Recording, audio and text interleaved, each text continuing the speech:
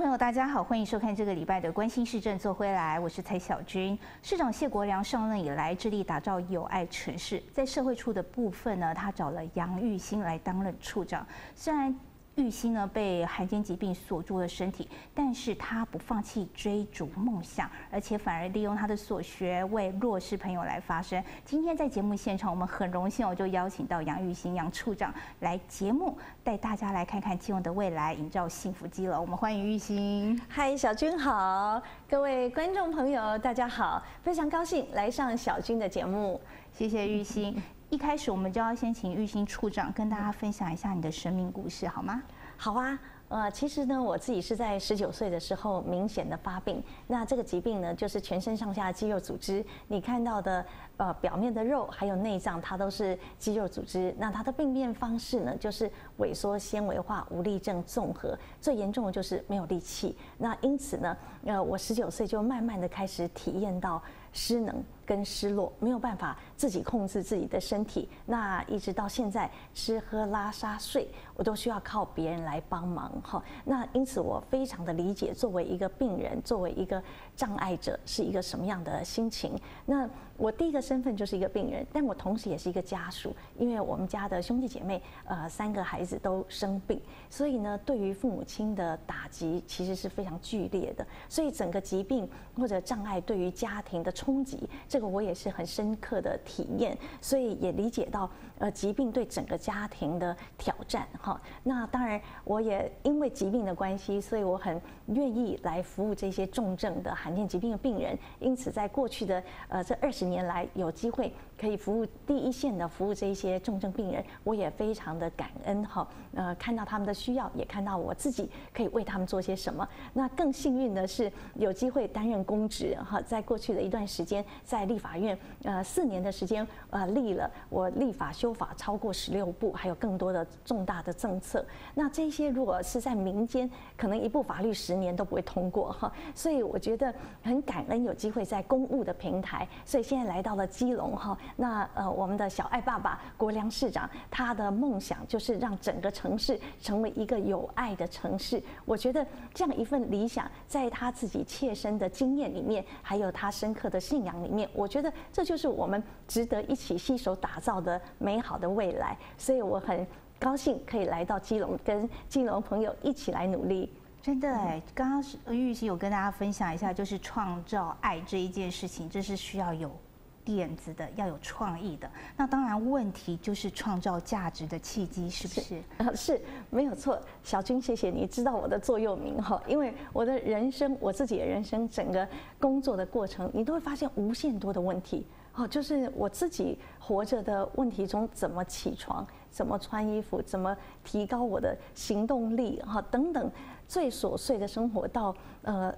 所有的工作哈，每一个工作你要突破，那问题就是千头万绪非常多。但是问题不是打败我们的理由，然后问题反而是我们创新价值的契机。这是我始终告诉所有工作伙伴：有问题就是我们如何在这个问题上去突破改变。当你突破改变的时候，它重点的改变是创造新的价值出来。所以这个问题，它其实同时存在一个新的价值，但这需要我们去把它挖掘出来，或者把它创造出来，而且是绝对可能的。是，真的是绝对可能。就像基隆长期多雨嘛，在多雨的环境，人很难到户外去运动、去游玩。对，带着家长的小孩来说，更是很辛苦。所以呢，我们真的很荣幸哦，就是在新义区公所，他们利用了空间，打造了一个室内儿童乐园。快来看看。因为就是基隆经常下雨，那户外可以跑的地方真的很少。但如果不下雨，当然就很多适合。但是但下雨的话，这里就很适合给孩子放电。孩子们玩到开心到不行，因为我们认为这个地方是我们基隆的孩子专有的一个场域跟场所。那第二点就是这个地方呃是室内的。所以一年全天候可以开放。然后来服务的我们最可爱的儿童，所以它是跨世代的共融。然后呢，我们也会有很多特教学生跟我们一般的孩子们，可以在这个场域里面毫无隔阂的共融玩在一起。那这是一个很重要的生命教育。信义区室内儿童乐园开馆时间为每个礼拜三到礼拜天早上十点到下午四点，每天分三个场次，每个场次一个半小时，欢迎市民朋友多加利用。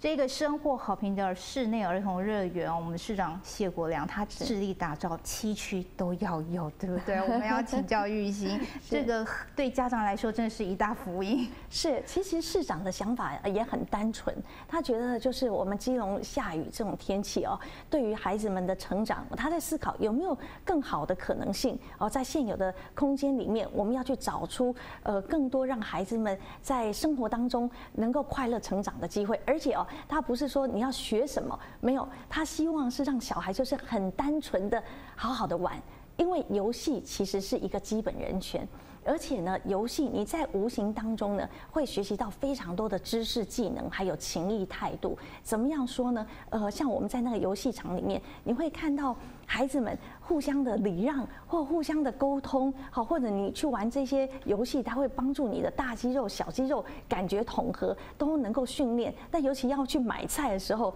然后哎，你要有的人要演这个呃收银员哈，那有的人呢要去买东西，有的人要当厨师，他们那种人际互动沟通的学习就在无形当中来进行。所以呃，游戏会帮助我们去达成很多无形知识的累积，好。那尤其是人际社交这种能力，在现在孩子越生越少的情境之下，孩子们需要玩伴。好，那一个更安全、更有趣，让孩子们离开三 C，好，好好的能够享受真实世界，然后跟人互动。我觉得这样的场域跟理念。是一个非常单纯又很人本的一个想法，而且呢，信义的室内儿童乐园，我们是在上任一百天之内哦就开张出来，所以我觉得是要非常感谢很多热心的企业哈，呃，还有我们市长、副市长他们找了各样的努力哈，对，还有自掏腰包的部分哈，还有这些呃有爱的厂商来。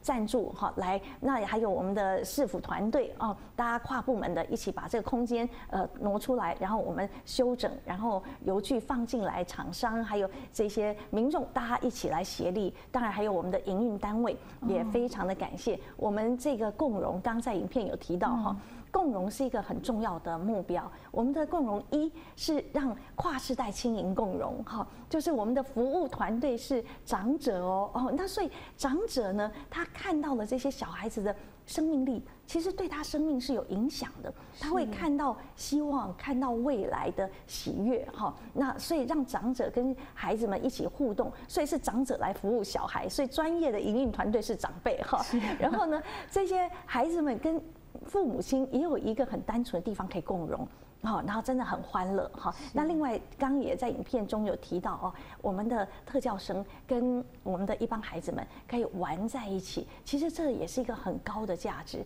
你看我们在学校到后端，你会处理霸凌，对，好，就是共融教育。但是你这个要改善相关的这些不和谐的认知或者是不和谐对待，你从游戏开始，在很小的时候，你没有特别的觉得，哎，他是比较好的人，他他是什么？同学没有，大家都一样，就很自然的可以玩在一起的这份共融的机会，你就很自然的理解到，哎，这个人跟我有点不一样，他就是不一样，但他。没有问题，哈，你可以跟他一起玩。那这样的一种共融的场域，也是我们很努力的哈，游戏共融，所以让每一个生命在这里找到他自己，然后快乐活泼的享受这一段时光。是，哎，真的就是看到问题，然后解决问题，没想到衍生出这么多有爱有力量的故事。那同样也要解决问题，要带大家来看看我们的西定托婴中心。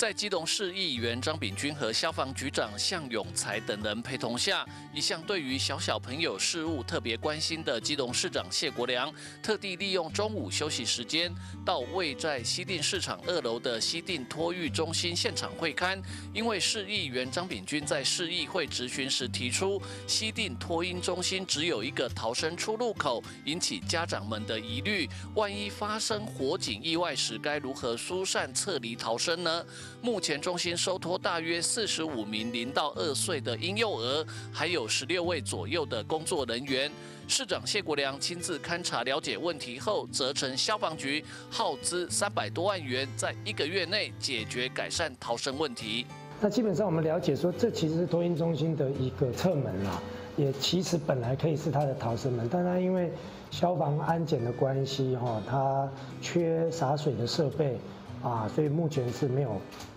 开辟的，那我这边刚刚跟局长讨论过，如果我们能够提供这个洒水的设备给这个托婴中心，然后也帮他找到储水池的空间的话，那么这个门依照消防法就可以打开，我们等于就有正门跟侧门的两个门，那这样对孩子们的安全一定多一分保障。所以我想说，还是请局长吼，在这方面，我们把这些设备把它估好。那我们在这，那也感谢这个丙金议员跟啊其他几位议员的关系。呃，那个应该在一个月内，我们就可以把处理完毕。好，好，谢谢。那我们一个月内，我们把这个规划方案出来，那是否会找到足够的预算来？对于谢国良市长明快不拖泥带水，立刻解决问题，通过民进党党内立委初选的市议员张炳军，也给予市长谢国良高度肯定和感谢。那在我们今天早上总咨询结束完之后，现在下午马上立即就在那边看，呃，也很快的提供个解决办法。那我相信我们所有的托运中心的家长，还有包含里面的照护人员。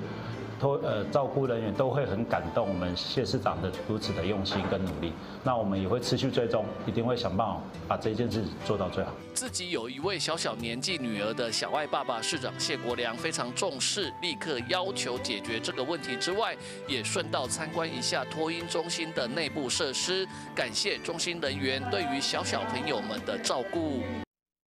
市长真的很有行动力，一听到问题马上就去解决了，这就是看见问题赶快解决。我们要请教玉玺，是，其实哦，这个是呃。议员呢，已经在两个月前提到了哈，那么呃，在市长的施政报告的时候，也在提出来。那市长一听见，立刻马上就说我要去这个地方看，他一定要亲自去看。那亲自去看了，马上就做出了决策哈。那呃，事实上，这个托婴中心是一百零四年就已经立案的，所以已经有蛮长一段时间了哈。那不过无论如何，我们是从现在发现的问题，我们此刻就即知即行的看我们。能够如何来改善？那呃，我们现在还有一个想法，就是更好的，也许是把它迁移到别的地方，哈，就是所以我们也同步在演绎其他的可能性。好，如果我们可以迁移到呃另外的场域的话，那么也许我们可以有更多的呃受接受的孩子们，哈，来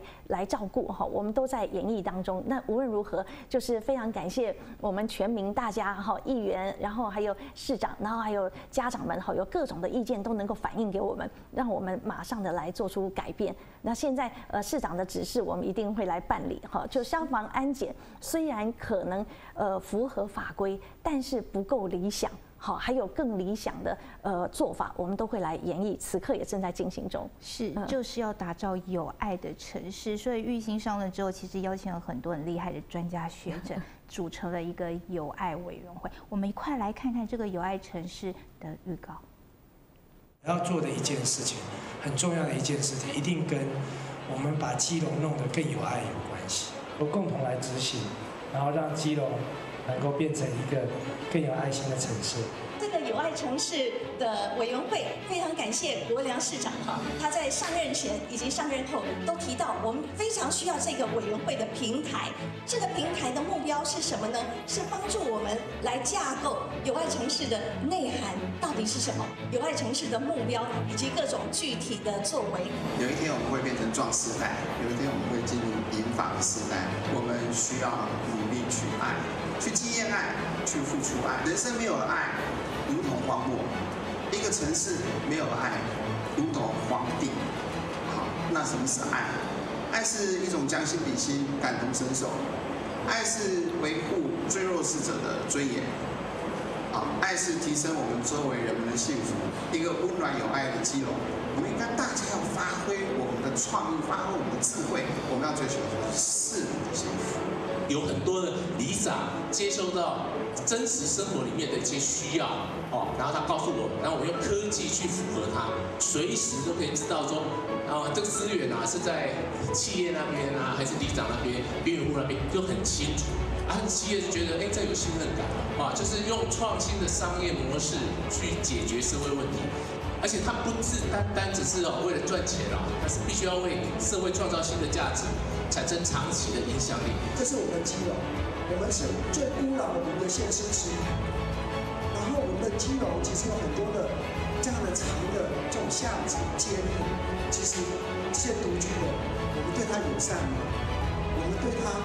啊尊重吗？长长的坡，长长的阶梯，你叫在住在上面的独居的人怎么下得来？富康巴士怎么上得去？谁用什么方式？可以去把它接住，这样的一个用阶梯被困住的土地面积，在基隆是百分之九十五的坡度。所以，如果基隆可以把这件事情成功的突破，基隆不只是台湾最有爱的城市，基隆可以说是全世界最有爱的城市。我们为了有爱城市，就一起努力来把这个环境建立起来。谢谢大家，谢谢。就是要邀请不同的专家学者一起来激荡出有爱城市的火花。那在这一场的有爱城市的论坛会当中，我们可以看到很多的亮点，有很多的想法。我们要请玉兴来跟大家介绍，好吗？是好，其实也非常感谢市长哈，他要组织一个有爱城市的委员会。那这场活动呢，是我们第一次的定位为脑力激荡的会议，所以呢，我们就筹办了这个短 TED 的概念哈。那来聆听的是各局处首长哈，那再加上市长全程的。参与，因为我们在这里就是要来凝聚以及共事我们有爱城市的内涵，好，跟我们共同的目标。所以呃，我觉得非常高兴，也很感恩有这么多的专家，呃，他们很愿意慷慨的把他们毕生所学哈，这几位都有非常多的呃专业的累积，然后再来看我们基隆，我们可以怎么样的努力。所以呃，我们从这些专家的分享里面，帮我们去看见信心，你一定要相信。好，有突破跟改变的可能，然后呢，也深刻的去对人这个尊严的维护，就是各式各样弱势者他们的困境，我们在帮助他们改善他们的时候，我们如何关注他个人的状态，以及维护他的生命尊严？哈，那当然还有整个让他。感受到爱和希望，这个都是很重要的哈。所以你会从每一个专家的论坛里面深刻感受到信心、盼望和希望，还有爱的这种能量跟专业在里面。所以我很感谢这么多专家愿意来到基隆跟我们一起工作，这个是很幸运的一件事情。对，那在其中我看到一个亮点哦，就是有一个最懂计程车司机的教授，我们的这个侯教授，侯教授是是是，他就分享以。移动力来打造亚洲最有爱的城市，这也凸显到基隆市目前面临的困境跟缺点，对不对？是没有错，因为我们基隆有九十五 percent 都是丘陵地，哈，那这个让很多的长辈其实确实会困在这个家里面，所以我们现在努力的在整合平行的。这个移动问题，好，我们在基隆的富康巴士，其实常年来，常年这么多年以来，我们每年平均服务的人就是两百人，其中有八十九人就是呃使用率非常高，占了大概将近八成，就是八十九人用。那意思是我们有三千五百人是有资格来使用富康巴士的，但是我们的服务量能是这么少的，那当然很多人就没有办法移动了。好，你没有办法叫到富康巴士哈，那所以光是这个比较基础性的问题，我们此刻是。没有解决的，好，就是常年就这个状态，所以我们现在已经呃也透过了很多专家会议哈，然后也跟新北市还双北来学习，所以我们今年就会立刻来改变，提供有系统的然后多元的方式来增加量能，先把量能够如何提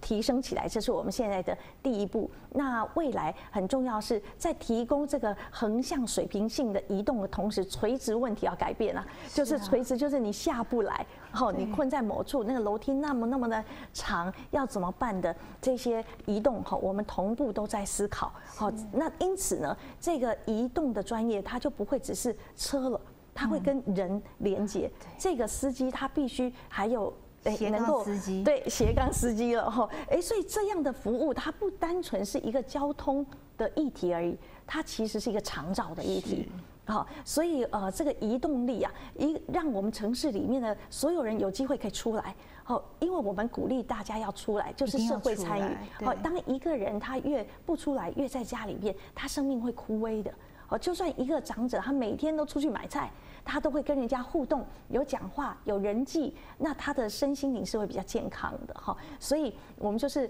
鼓励的，呃，努力的来水平垂直性的交通问题，我们都会努力来打造。所以，这是我们此刻今年就一定会做出的改变。是，而且在这当中，其实还有很多亮点，比如说像小 U 这一个执行长，我觉得他也好有创意哦，而且他用他的科技来帮助了这些弱势朋友，是没有错。小 U 他用了一个很永永续跟有机的方式，来把利害关系人都嫁接起来，让所有人都能够很便利的使用到这些公益的资源，好，然后各利害关系人他又能够以自己想要的时间跟方式来查询，我现在捐的这一笔。这个平安箱这些物资此刻去到了哪一个地方，然后哪一个人在哪一家店领走了？好，这都是完全透明，且能够让所有的圣食又能够更有效的。来帮助这些弱势的族群，我觉得是一个很有创意，然后也很幸福的一个方案。是，所以如果他就把他的经验，如果运用在我们的基隆上面，一定又是不一样的亮点，对不对？对，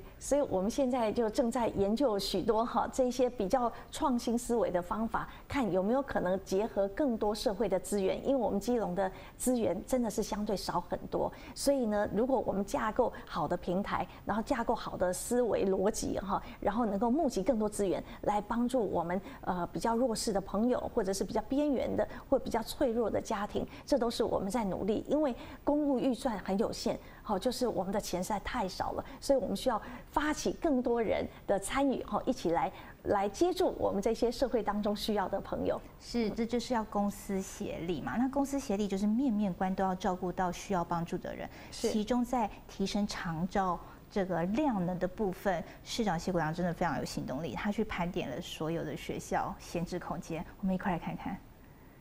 教育处跟社会处会来合作，盘点一些这些能使用的空间，但是有时候长辈比较能使用空间，其实是在一楼，所以在这一点，我们也会跟教育处大家多沟通，了解一下有没有更多的空间，尤其在一楼的部分，啊，可以。盘给更多的长辈来使用，这也许都是我们自己家里的阿公阿妈等等，但是他们就是会有这样的需求。基隆市的很多长辈也会有这样的需求。在我们基隆地区哈，呃，长照的失能推估率有一万五千人，那这当中呢，有八千多人其实都是没有使用长照的，所以就代表这一群朋友们，其实他们是需要长照，但他不知道或者是呃不会用这个长照的资源。那因此我们最优先会在呃出院的的时候哈，有这个出院准备，在这个环节我们努力来让已经到医疗机构了，那么他会知道说，呃，我要来用长照，那至少我要回家这个无。障碍交通能够接送，然后呢，还接下来还有陪伴啊，或者居家护理啊，哈，或者是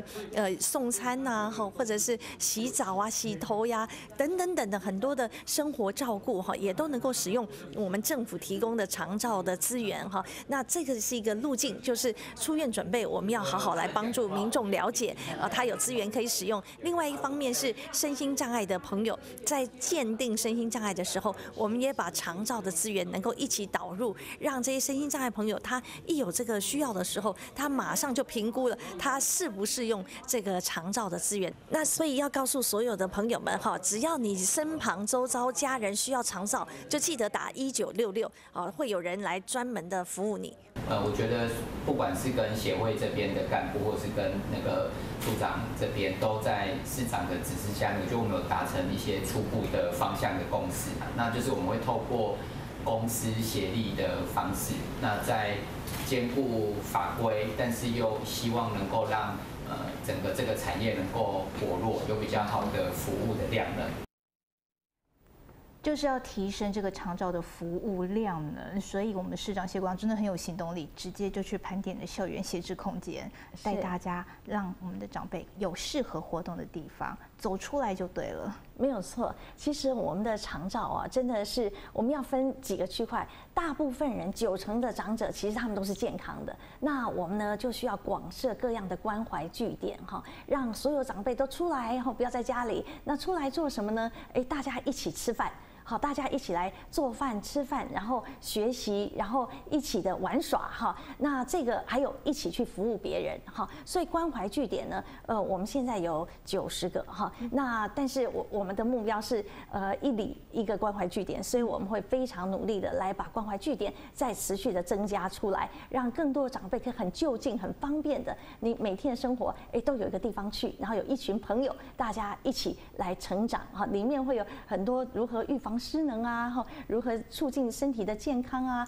各种的呃物理的、心理的哈服务啊，哈，还有生命的课程，其实都在里面。我们会不断的来提出哈，所以这是很重要的，要鼓励我们的基隆的长者哈，或者是如果家里有长辈，哎，你要请他说，哎，不要在家里啊，要去关怀据点哈。那我们会努力把资源长出来。那另一方面呢，如果说已经来到了需要人家帮忙、需要人家照顾的时候呢，那我们要使用长照。资源，所以如果观众朋友你发现到，哎呀，家里的长辈有什么不舒适哈，不方便，你就打一九六六哈，我要多宣传一下哈，告诉大家什么疑难杂症跟照顾有关的，一九六六打下去哈，然后就会有专业的照专哈来跟你沟通哈，然后。来开始来做评估，那之后就能够诶提供一些服务，例如你能够去日照中心，好，那日照中心呢就很像是托儿所啊。好，把长辈呢，可以他到日照中心有专业的这个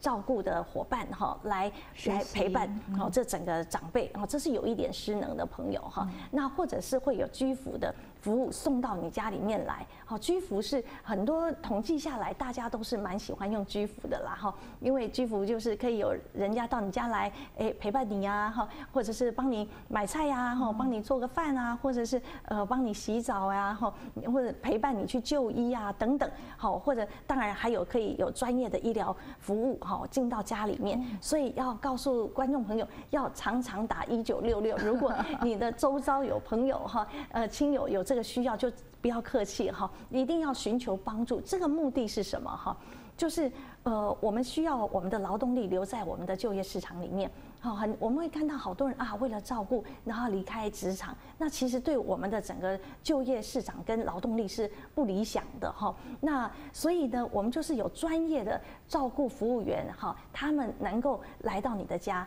来帮助你，或者你把你的长辈送到日照中心来。好，那所以这些是需求端，我们要告诉大家，你要用这样的长照资源。哈，这是国家来照顾我们的国民很重要的一个想法，就是让。每一个人，你可以好好的继续过你的生活，你继续工作，但是你的照顾不会少的哈，你的照顾会有国家资源来提供哈。那另一方面也就会提到了，那谁来提供啊？然后这些照顾资源在哪里够不够？那这也是我们现在在努力的事情哈。那我们现在呃有八个日照中心哈，那但是我们还要努力的，我们还欠，如果要达卫福部最低标的话哈，你看我们到现在为止也没有达到卫福部最低标，哈，就是我们只有八处，我们现在还需要再布建六处。好，所以呃，这也是我们现在呃会努力来把这个达至少达到卫福部最低的标准。四间在基隆地区，因为基隆的目标应该十五个，因为是一一个国中学区一个日照中心。哦，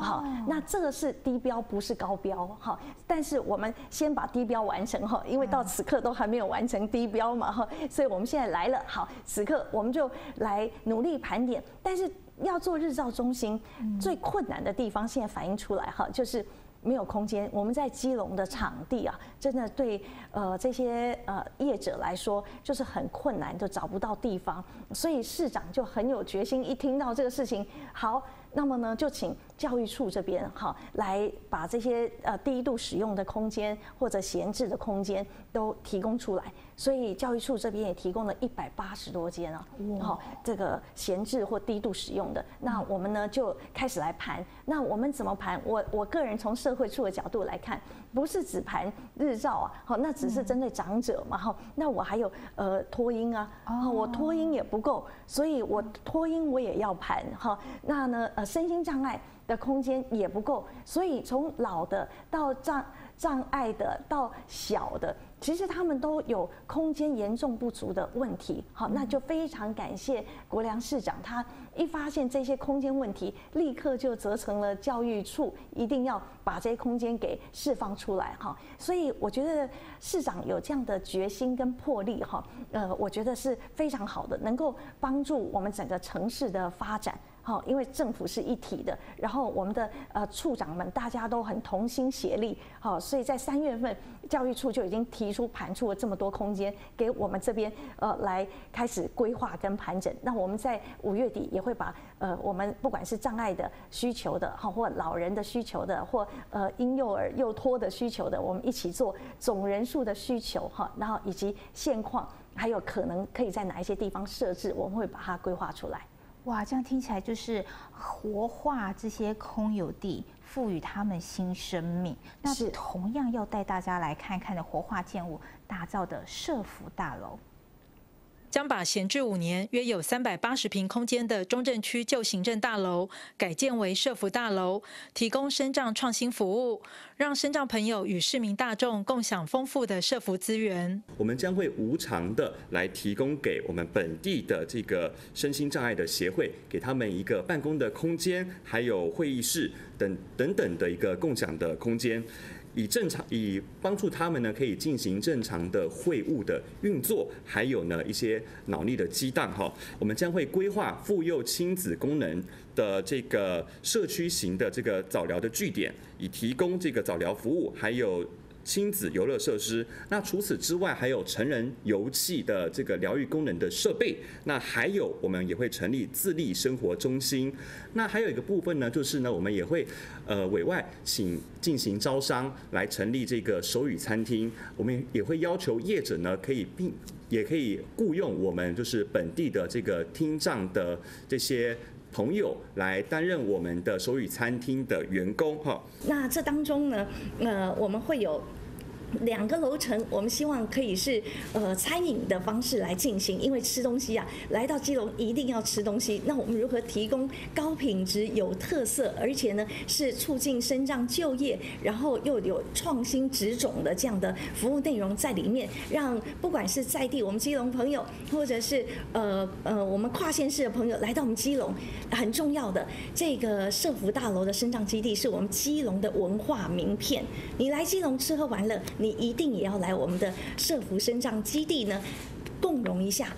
融合一下。体验一下生命的意义，还有爱的无限可能。所以我们要从这样的餐厅的推出，以及下面一到五楼的各种的创新服务，哈，来让大家市民们还有所有的友人们来到这边，有很多好玩的事情，都可以跟我们的不同跨领域的障碍朋友一起玩耍，哈。呃，这个呃蓝图规划我们已经筹备了一段时间，那我们也提了追加预算，哈。那现在正在定情会当中，哈，会来审查，所以。呃，议会通过我们的这个追加预算之后呢，我们就能够在今年的年底来招标。那么预计希望能够在一一三年的下半年哈，我们能够有部分的试营运。那到一一四零年，呃一四年的时候呢，我们能够全面的营运，这是我们目前的规划。那因此其实时间是蛮紧凑的哈。那因为我们觉得这个闲置了五年的空间，我们如果可以尽早的赶快加紧脚步，让这个空间可以重新的修整。哈，然后赶快的启用，那对整个城市的发展，对市民的服务都是很好的。就是要为市民来服务，你知道吗？基隆市有两万一千位的身障朋友，为了要提供身障者有更好的活动空间，所以玉兴这里就盘点了这一个。闲置五年的中正区旧行政大楼，是是是，追加减预算希望能过，对不对？我们哦，是是是是是，追加预算。对我们其实也非常的感谢哈市长，其实在他还没担任市市长的时候，他就跟相当多的身心障碍团体多有互动。那他也去到这些我们基隆在地的身心障碍团体的办公室。那他去了之后，就是感受到。怎么这么偏远，或者是怎么这么障碍，然后怎么空间这么不理想哈？因为当然我们基隆地区的生障团体其实资源也是很有限哈，然后整个营运的规模哈，还有整个服务提供的方式跟双北比起来都是有落差的。那市长当然是非常清楚的，所以他有一个想法，就是觉得。哎，我们应该给我们基隆的这个九小协，我们就称它九小协，九个身障的协会哈，主主要不同障碍别的代表的呃九个协会哈，应该我们要让这些团体啊有更好的办公空间，好，然后呢，不仅是让他们有好的办公空间，我们还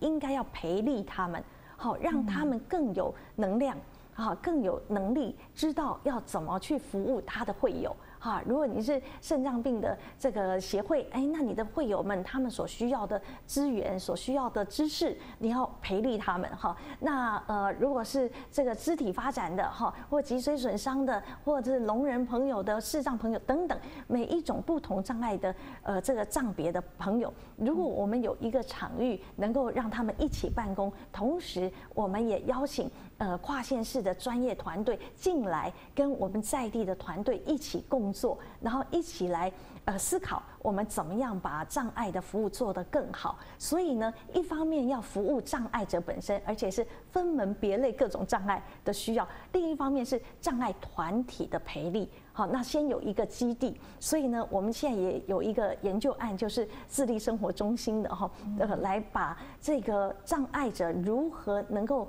维持最高的自主性的生活样态跟需求，能够把它打造出来，而后来培育所有的团体，哈，让我们基隆的地区呢有一个障碍团体的家，好，所以这是市长其实最原始就是想说，他们要有一个家，呃，要有一栋是属于障我们基隆障碍族群的基地，好，那这个基地它就不是只是传统的说啊，给你一个办公室，没有，我们是协作。好，是现在大家的一起参与式的，好，然后创造性的协作，所以不只是硬体啊，更重要其实是这些软体的构想。嗯，好，那呃。所以基本就是让障碍者呢有一个孵化的基地。那孵化就是孵化的意思，可能不一定大家理解哈。就是说我们怎么样一起来激荡出一个又一个的小小专案、小方案来解决个别的小问题。如果每一个小问题一个一个的有突破的被解决，那最后它会积沙成塔的产生质变。好，那这是一个。孵化就好像一颗蛋，好，它是一个问题。那你要一只母鸡来孵，然后最后它还孵孵出一只鸡来，好，那这就是一个培力的过程，哈。那所以呃，这个呃生长的大楼呢，我个人觉得，呃，我们可以看到说，一个城市如何对待最弱势的人，那就是这个城市的文明水平。所以至少我们从在以前都没有一个障碍者的基地。我们此刻开始，我们要来打造一个属于障碍者的基地，而且它不是传统的那样。所以在这里也要呼吁跟邀请所有的障碍朋友哈，我们呢要一起来好，把你自己所体验到的障碍的困难、障碍的经验，你都能够分享出来，而且一起来思考怎么解决，就是解决我们自身障碍的问题。其实我自己常说啊，障碍者的专长是什么？障碍。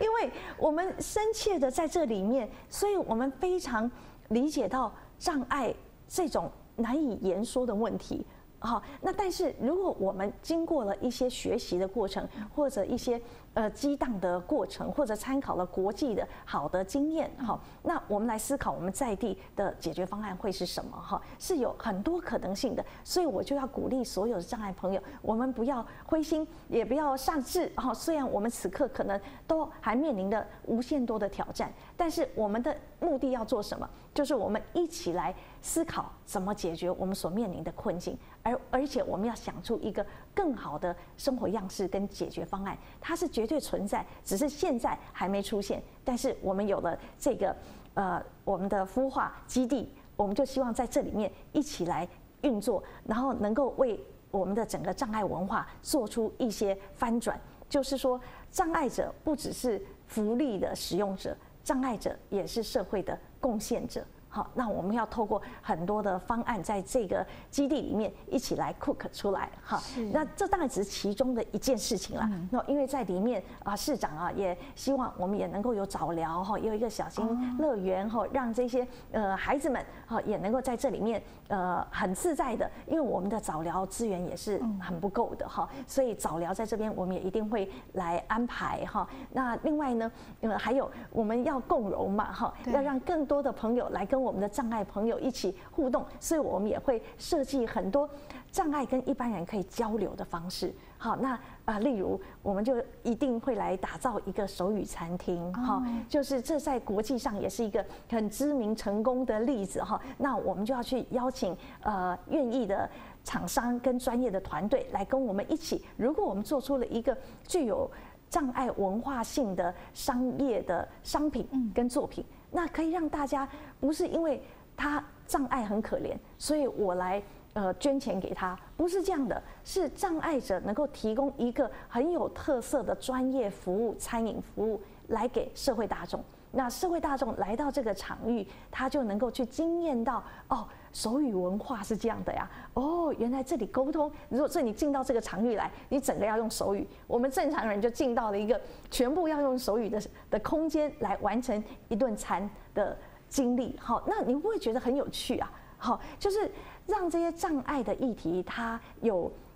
这个商业的价值，而且有文化的转换。好，就障碍文化哈，来跟社会大众一起做沟通。所以，我们在这里面，当然这是其中一个例子，还有非常多。我们会在这整个大楼里面一起来孵化，来跟社会大众一起互动。那这个呢，当然还需要一段时间哈，因为我们才刚上任哈，在过去还都在基隆没有一个障碍的基地，但此刻起，我们开始要来把它呃孵化出来。那所以还需要一段时间。不过，呃，也请所有的。呃，观众朋友，好，或者是我们是呃身心障碍的朋友，我们自己可以开始期待了，开始想了。你现在就可以开始想，如果有机会，我想解决什么问题？好，你开始构思，然后我们在未来的时候也会有一个窗口，让大家可以把你的想望，然后把你的困境来收集，然后我们有机会可以慢慢的一点一点的来酝酿，来协作。是，哎，这看到好多的亮点，而且这就是我们的共荣最大的力量，是可以看到我们有爱城市的雏形，而且未来的样貌，这让人家非常的感动。那当然就是刚才处长帮他就是说上任之来，其实引进了非常多的资源来到我们的基隆，要一打造这个友善无爱的便利城市。我们要来看看哦，很多的资源进来，其中的天行者协会。基隆市政府在。温情满人间，长期投入公益活动的基隆市天协者慈善协会与天爱协会，这一次捐赠三百公斤的白米给基隆市社会处，来帮助弱势族群，让人倍感社会温暖。共其实是由一个爱心的捐助者捐币捐助了一笔款项，那由天行者来制作成爱心的米来捐助给基隆市的所有弱势家庭。啊，我们这一次呃非常开心，是跟基隆市政府的社会处一起合作办这场活动。点滴汇聚大众的善心，将爱的力量传递出去。副市长邱佩玲、社会处长杨玉新与社会处的同仁亲自到场，感谢这一份充满祝福的力量。也这两个单位，天行者跟天爱协会。他们愿意在这个时间捐赠这么多东西，尤其在疫情期间，还有通货膨胀，让很多他基隆的弱势家庭非常的辛苦。呃，再一次谢谢有人愿意跟我们一起，让基隆变成更有爱的城市。温暖继续蔓延，让基隆成为温暖之都，最有爱的城市。真的就是要打造最有爱的城市哦，所以引进了很多社会资源。我们要请教玉欣。是，我觉得呃，真的是很感恩的事情哦，能够有这么多社会贤达哈。那不管是在像我们的儿童乐园哈，都是从北部哈进来的资源啊。那呃，从双北来，那呃，我们在地的团体哦，也有像天行者哈，他们也是长期做很多慈善的工作跟服务哈。那等等，我觉得。很感恩的就是说，有这么多人能够慷慨的去把自己所拥有的东西分享出来。好，那分享的呢是什么？自己的时间、自己的金钱、自己的专业。哈，我觉得这些都是社会的资本。一个社会。呃，能不能够有韧性？哈，就是强韧的那种韧性，来面对各种的挑战挫折。最重要的还是在于我们的人民。好，那如果我们的人民每一个人都愿意慷慨的分享一点点，好，那么我们整个社会的资本跟力量就是不容小觑的哈。那呃，所以这也会讲到是我们的志工哈，我们的志工呢，也是我觉得接下来我们要非常努力哈，继续来推动的，因为。志工是你用一点点的时间去投入在公共的事务里面，来改变这个环境，哈，所以呃，志工的体系跟发展也是在我的现在开始，哦，能够希望把百呃各行各业哈都能够成为我们去服务跟提升还有公共参与的可能性，哈，好，无论如何就是。有这么多的团队，还有这么多的人才，还有这么多资源来到我们的基隆，持续的一点一滴的把基隆打造成更有爱的城市，我会觉得是一件很快乐的事情。是，真的是很快乐。当然就要用我们的生命来看待这件事情。生命的面向有很多种，我相信玉兴体验到的非常的 透彻。我们要请教玉兴跟大家分享，用生命力来看待我们这这件事。是。我觉得生命呃第一件事情重要的话哈，如果要说最重要的事情，我觉得是感恩。我觉得活着没有一件事情比感恩更要重大。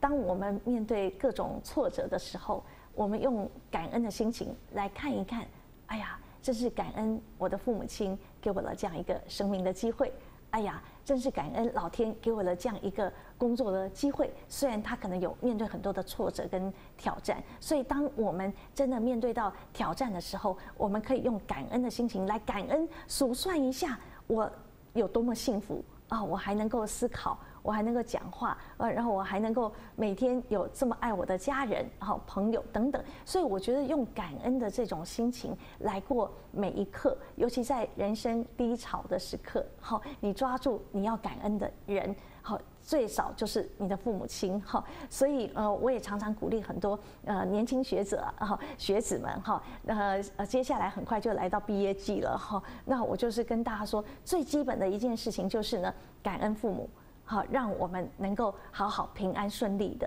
长成长到此刻，而接下来的事情就是自立自强。好，每一个人要在自己的问题上面去活出解决问题的力量。好，问题只有靠自己来解决，自己来突破，你会发现你内在有无限多的解决问题的能力。好，所以如果遇到困难、挑战、挫折呢，呃，我都会鼓励大家。靠自己的力量，那那你自己力量不够，说要怎么办呢？寻找贵人，哈，所以我也常跟同事说呢，贵人就要自己去找，好，你看到你有什么问题，那你看到谁可以帮助你，你要很勇敢的去跟他说，呃，我需要什么样的帮助，我需要什么，我来请求你协助我。其实很多长辈都会很愿意来支持我们的后生晚辈的，哈，所以我觉得，呃，生命就是一个生生不息的循环。好，我们从语言、从思想、从行动，都能够为我们的未来人生展开不一样的道路。所以我也常常说呢，呃，我们使用的语言非常重要。然后我们必须使用善良的语言，好来建造别人跟建造自己。那所以，呃，要问我生命的话，呃，感恩我们有这样的一个生命的机会，然后也珍惜我们能够拥有的一切。那接下来的。就是不要怕，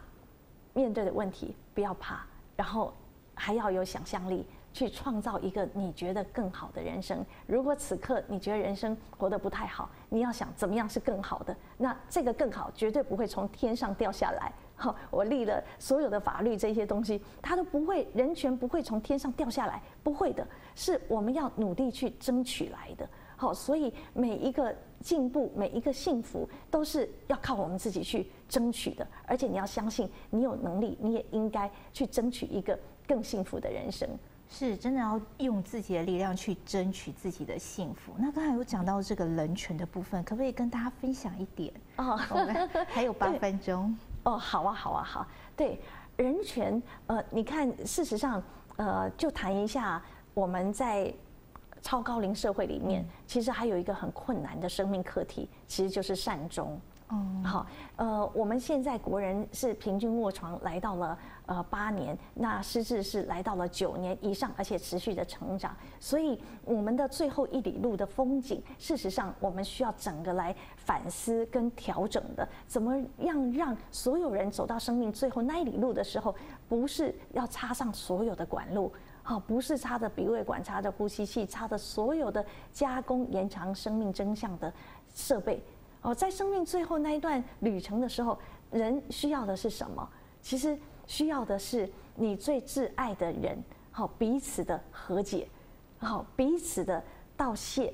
好谢谢你这一生如何如何的照顾我，好我真的很爱你，对吧？哈，那或者是呃我这一生有所亏欠，我希望道歉，也希望获得别人的原谅。好，那所以在生命的最后的时光，其实是一个很重要的生命教育跟生命再成长的旅程。我始终都相信，呃，死亡是能够再创生命高峰的，而且也必须，如果死亡就这样结束了，那我们这一生真的有的时候会觉得很莫名啊，就是到底为何而战，为何而活？不明白哈，可是你来到生命最后那一段时光的时候，我们如果可以好好的道谢，好好的道歉，好好的道爱，好好的道别，好好的做各式各样自己生命的和解，那么我们走最后那一里路的时候，你会觉得此生无憾。那这个问题啊，它有一个机会让我们提早来思考，就是病人自主权利法。啊，就是去做预立医疗照护之商。那这个呢，也就是病人自主权立法。我在立法的时候，很重要的一个目标，就是不希望国人持续的发展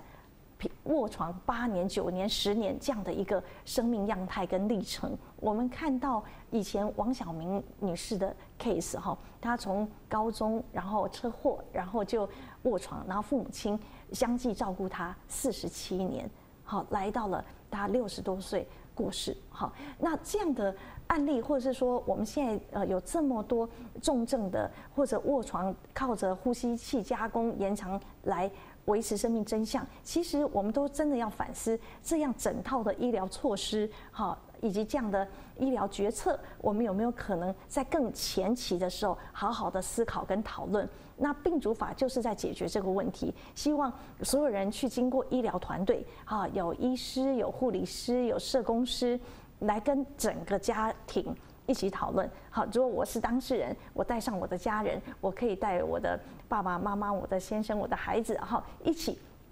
到医疗机构，那会有这些专业的人员来跟我们一起讨论说，哎，你现在可以先做什么医疗选择哦，吼，哎，你可以针对不可逆转的昏迷呀，或者是永久植物人呐，或者是不可逆转昏迷，如果有一天真的变成这样的话，你想要怎么样的医疗决定？好，你可以想说，所有的加工延长我全部要，你可以这样写，你也说所有的这些加工延长生命的医疗措施我全部不要，呃，我可以这样写，还可以写啊，我可能再试一下吧。好，再试个两年啊，你可以这样写。好，或者你还可以写哦，我交给我的医疗委任代理人等等。所以你看哦，这就是一个随着时代的演进，好的人权上的改变。一个人有医疗的自主权。以前我们并不会说我要提早的去为我自己做什么决定，但是现在因为科技太发达。好，没有一颗你头都没有了，你还可以透透过这个加工延长维持生命半年都能做得到。好，科技是这么先进的，